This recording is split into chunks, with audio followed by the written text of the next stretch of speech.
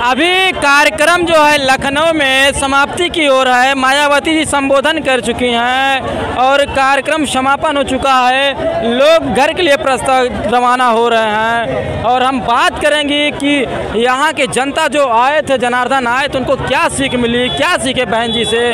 क्या नाम है भैया आपका? क्या नाम है? रंजीत राजा हमारा नाम है। इंद्रजीत राजा जी। रंजीत राजा जिला पंचायत सदस्य हैं जौनपुर से।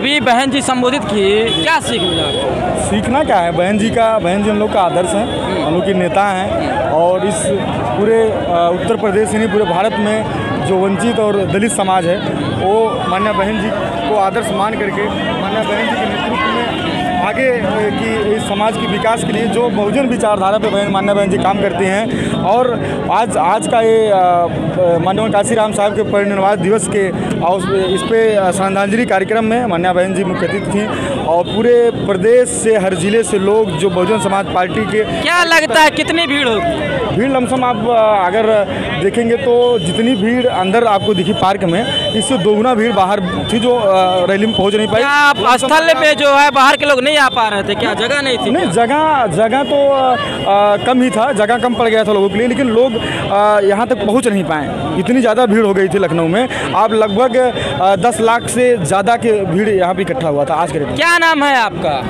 मैं तूफानी रंजन पूर्व जिला सचिव जौनपुर।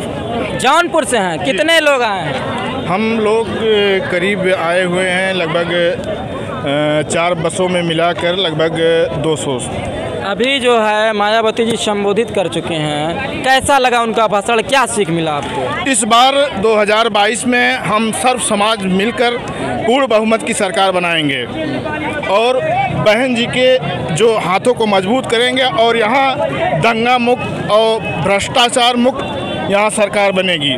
जिस तरह से 2007 में बहुजन समाज पार्टी की सरकार बनी थी बाघ और बकरी एक ही घाट पे पानी पीने का काम करते थे। उसी प्रकार से 2022 में हम सब समाज मिलकर पूर्ण बहुमत की सरकार बनाएँगे। क्या लगता है अन्य पार्टी ऐसे ही देखते रह जाएँगे क्या? हाँ अन्य पार्टी का अब एकदम हवा खराब हो गया है। ये इस रैली से आज जो है कि साबित हो गया है कि इस बार जो है कि बहुजन समाज पार्टी की ही सरकार बनने जा रही है 2022 में। यहाँ जो है सारे समाज से आप किस समाज से हैं? बहुजन समाज पार्टी से। बहुजन समाज पार्टी से हैं। मैं बात करूँ तो OBC S C S T S C. से एस सी। से क्या लगता है अब की बार 2022 के चुनाव को लेकर? 2022 की बाईस बाईस में बहन जी की ही सरकार बनेगी मैं दावे के साथ कह सकते हैं। दावे के साथ कैसे कह रहे हैं? उधर योगी आदित्यनाथ जी भी दावा कर रहे हैं साढ़े तीन सौ पार करेंगे योगी आदित्यनाथ का दावा गलत साबित कर दिया जाएगा 2022 में। ये बहुजन समाज की पार्टी दिखाएगी उनको। यहाँ पे लगातार दिखाइए लोग निकल रहे हैं। हम बात करने की कोशिश करेंगे। दादा कहाँ से हैं आप? हम मलिहाबाद क्षेत्र से हैं। मलियाबाद से हैं। कब आए थे आप हम आज आए थे। आज आए थे। क्या सुन चुके मायावती जी को? कैसा लगा बहुत अच्छा लगा। क्या सीख मिला? है? क्या सीख मिला?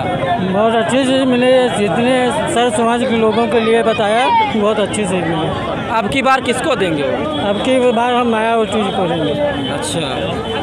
क्या लगता है भैया कहाँ से आए हैं आप? लखीमपुर खीरी से। लखीमपुर खीरी से। लखीमपुर खीरी में इतना बड़ा कांड हो गया है कि गृह राज्य मंत्री के बेटे ने किसानों को कीड़े मकड़ों की तरह रगड़ दिया लेकिन अभी तक आरोपी की गिरफ्तारी नहीं हुई। क्या लगता है? साजिश क्या है? कानून व्यवस्था बिल्कुल दुरुस्त है। कोई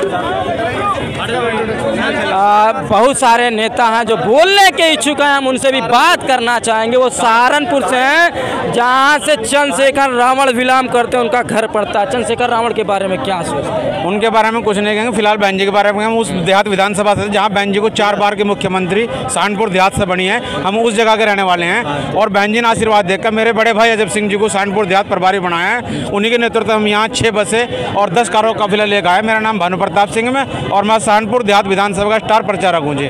और बहन जी को पूरा सहारनपुर पहले से ही बहन जी का आशीर्वाद विशेष सहारनपुर की धरती को रहा है और उन्हें नमन करते हैं और बहन जी को इस बार पाँचवीं बार उत्तर प्रदेश का मुख्यमंत्री बनाने का पुरजोर प्रयास कर रहे हैं और निश्चित तौर बहन जी इस प्रदेश की मुख्यमंत्री बनेगी और जितनी संप्रदाय प्राप्त हैं। जितनी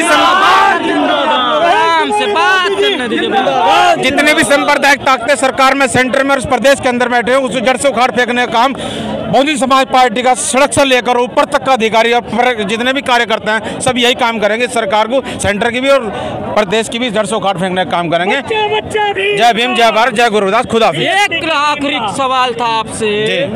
बहुत बड़ा कांड है। लखीमपुर खीरी कांड है। क्या कहना चाहेंगे?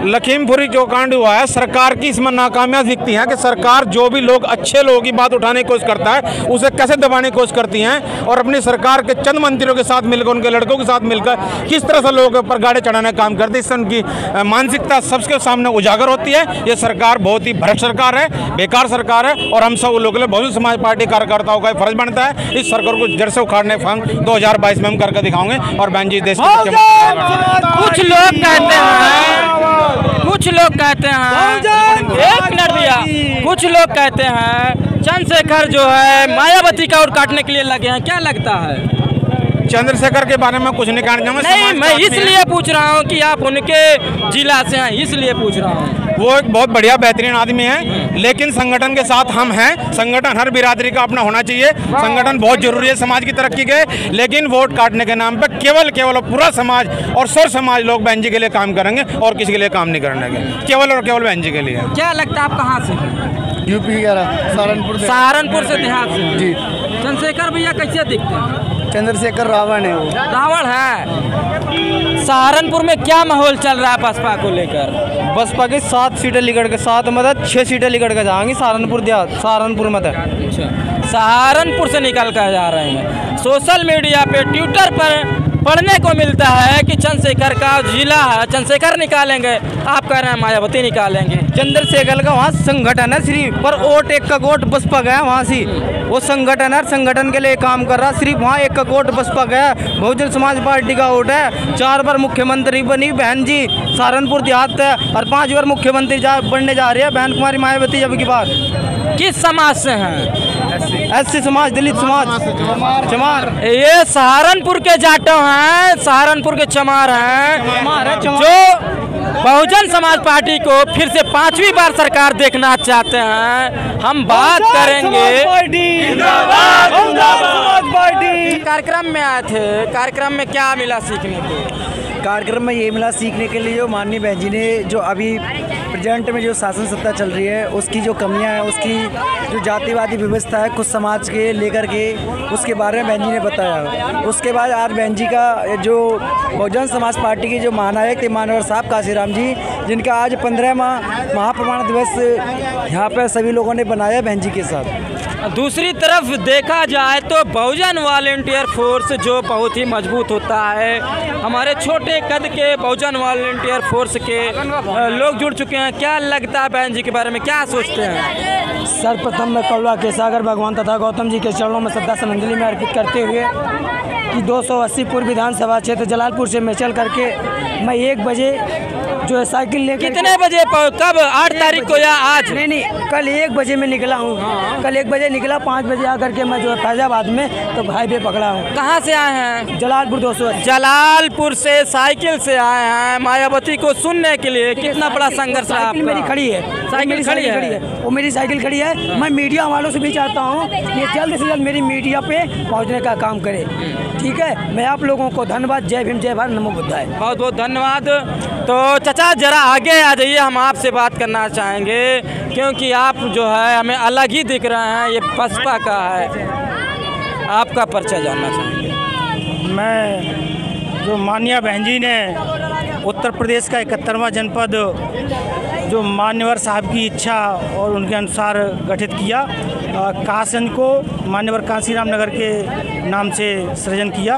उस जनपद से ताल्लुक़ रखता हूँ और मैं वहाँ का जिला अध्यक्ष हूँ, बहुजन समाज पार्टी। जिस तरह से यहाँ पे मायावती को सुनने के बाद हम लोगों ने रिपोर्ट किया, वो डायरेक्ट रिपोर्ट ये मिल रही है कि 2022 में पूर्ण बहुमत से और ज़ोर और जुलूस के साथ जो सर्व समाज है जाटो समाज है, चमार समाज है, गुजर समाज है, लोधी समाज है सभी समाज जो चाहता है कि बहुजन समाज पार्टी की सरकार बने और इसी के साथ चैनल को देखते रहिए, चैनल को सब्सक्राइब करिए। हमसे जुड़ने के लिए चैनल के लिंक में, डिस्क्रिप्शन में मेरा लिंक दिया गया है, ट्विटर, फेसबुक से जुड़िए।